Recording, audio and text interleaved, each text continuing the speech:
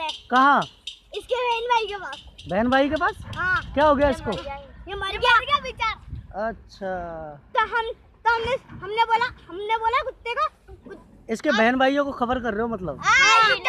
लेके जा रहे हैं। इसके जो इसके पापा को। इसके अच्छा। पापा मम्मी चाचा सब हम पापा को चलो ठीक ठीक है भाई करो करो।